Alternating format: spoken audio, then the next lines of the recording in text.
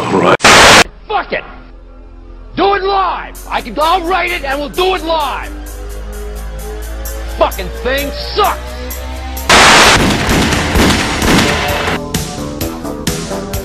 Dead.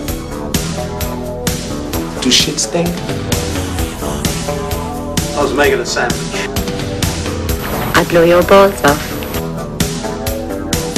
I warned you!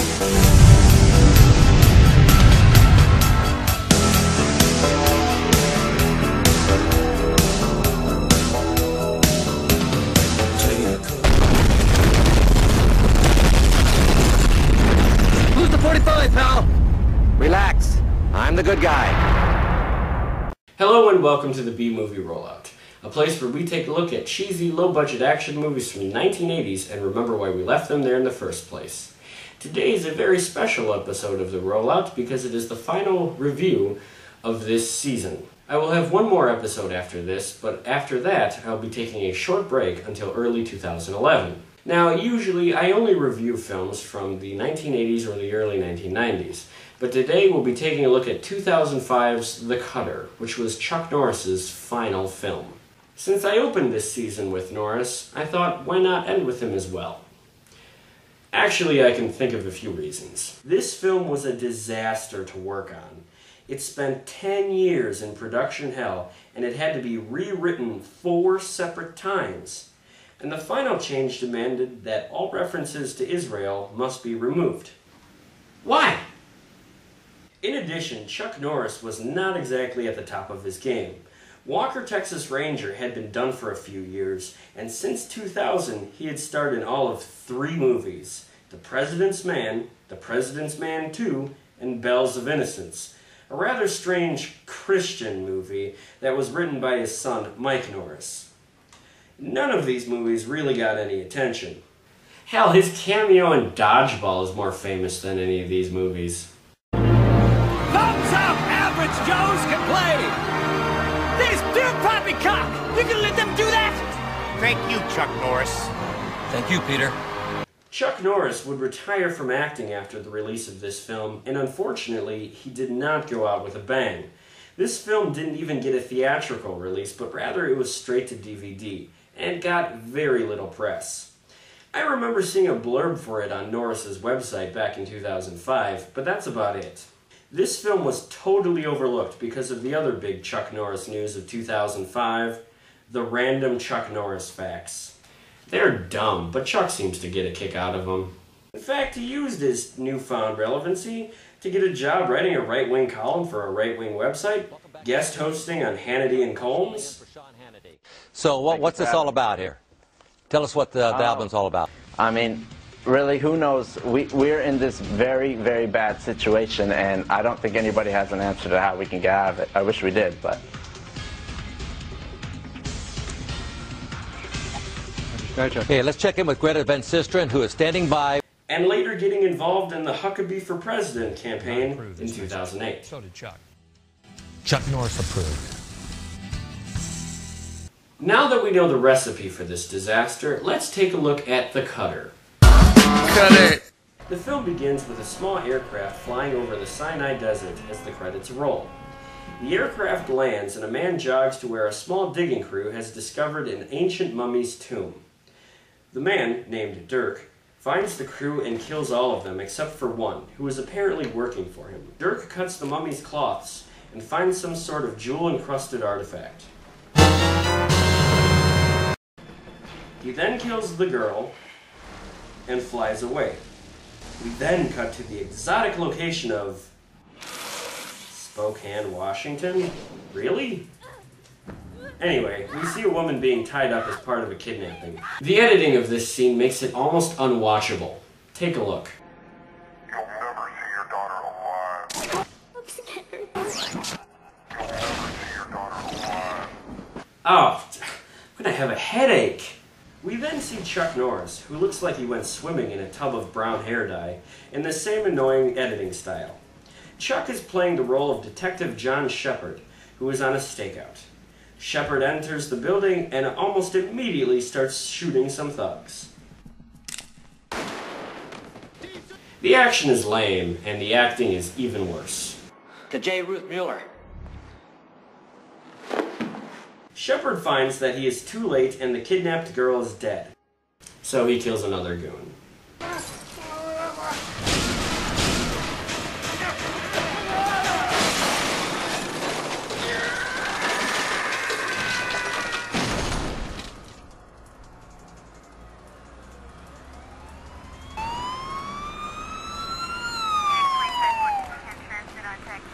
Did you have to throw him out of the window, Shep? I needed some air. Could have made a call before you pulled a die hard. You actually said that? Yeah, don't reference a good movie in your bad one. It turns out Shepard is an ex-cop turned PI who has been investigating a series of kidnappings. And change, you know the routine. The family hired me to find the girl Parks after they lost faith in you. Oh, yeah. And you found her, all right. Hey, you know, Shepard, we had these guys as suspects in two other kidnapped for ransom cases. Does that surprise you? Now what surprises me, Parks, is that you didn't connect these guys to the girl's kidnapping. I did. Hey, you know, where are you going? I'm not finished with you yet, pal. You aren't, but I am. I got a family to notify.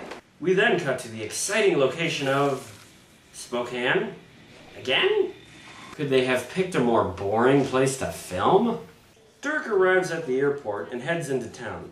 He's apparently looking for a man named Isaac Teller, who is a jewel cutter, hence the title.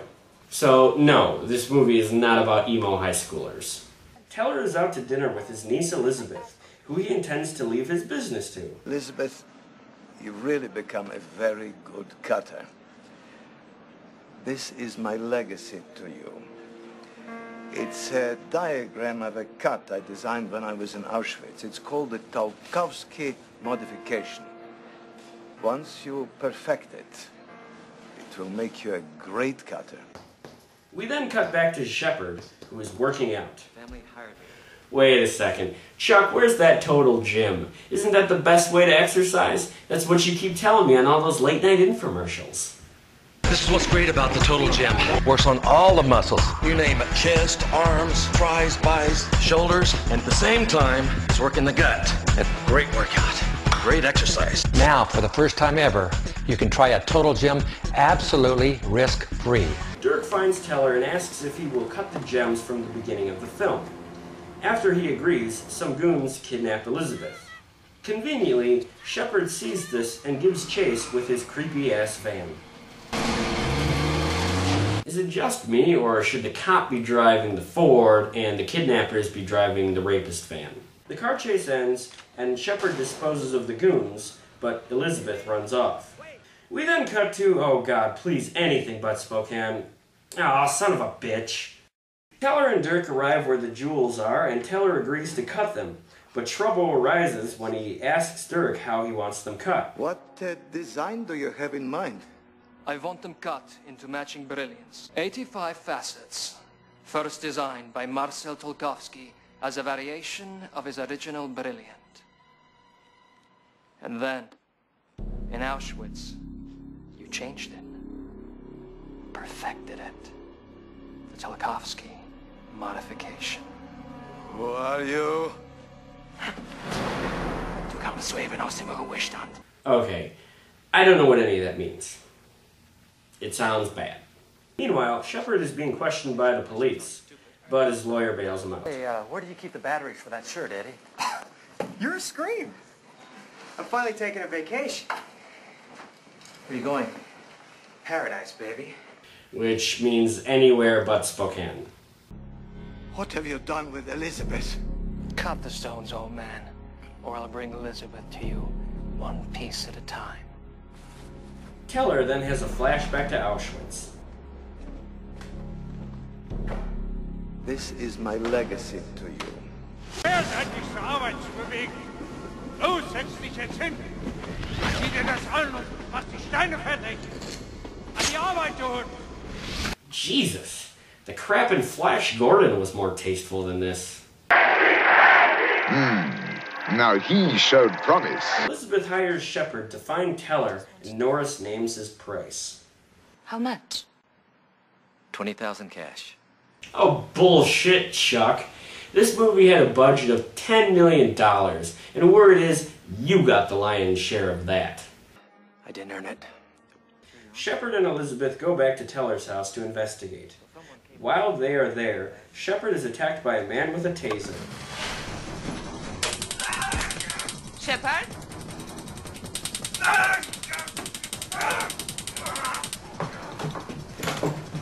Oh my god, that is hilarious. Don't tase me, bro! Ow!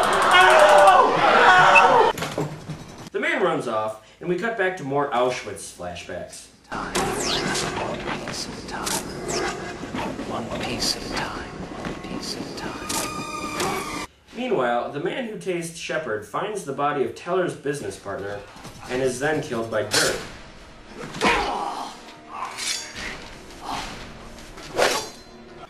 Who is then chased off by Shepard and Elizabeth when they arrive. It turns out that the man was an agent of Interpol. We also find out that the breastplate with the gems on it is actually a biblical artifact. Also, as it turns out, Dirk is working for a man named Spearman, who was a Nazi war criminal who oversaw the jewel cutting done by Jewish prisoners at Auschwitz. So, a Nazi war criminal has hired a freelance hitman to kidnap a Holocaust survivor to cut jewels from a biblical artifact. You keeping up with this? If not, don't worry. Here's a cheesy Chuck Norris one liner. Why don't I take you down to police headquarters and you can divulge it there? How about that? You serious? Calvin, I'm as serious as a heart attack. Oh, no, you're not. You're a faggot. Shepard and Elizabeth catch up to Dirk and Spearman, but Dirk sees that they're being followed. He heads off on foot, so Shepard follows him.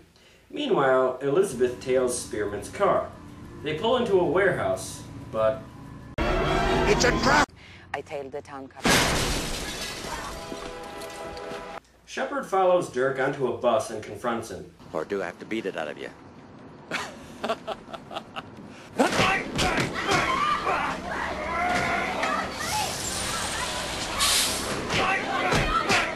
So it's your average ride on the bus.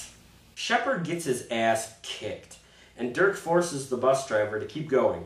He rendezvous with Spearman at the warehouse, which is holding Teller and Elizabeth. What do you think, old friend? Never again. Auf Nimmerwiedersehen, Salman. Oh! This is for my family. Shepard discovers the warehouse by using a cell phone recording and, well, I suppose we'll call it intuition. Shepard storms in and shoots Dirk, and discovers Elizabeth is wired to a bomb. Shepard takes the bomb off Elizabeth and frees her and Teller.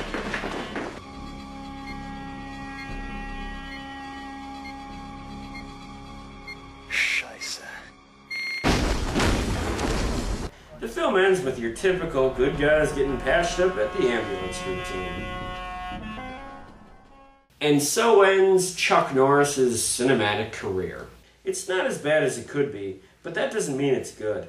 It will keep your attention, I guess, but it doesn't have any rewatch value. It lacks Norris's kick-ass kung fu action of the 1970s, the over-the-top action schlock of the 1980s, or even the unintentionally hilarious self-worship of the 1990s. Rather, it reeks of his lackluster mediocrity of the early 2000s. My name is Joe, and I want to thank all the fans out there who checked out season one of the B Movie Rollout. I plan to have one more surprise episode up very soon, but after that I'll be taking a short break until early 2011. In the meantime, feel free to subscribe to this YouTube channel, check us out on Facebook, and keep an eye out for a teaser for season 2. Thanks again for watching. Play us out, Chuck. Sorry, guys, this is an emergency. I'm Chuck Norris. Cause the eyes of the ranger are upon On you next. Any wrong you do, he's gonna see. When you're in Texas, look behind you. That's where the ranger's gonna be. Camel jockeys.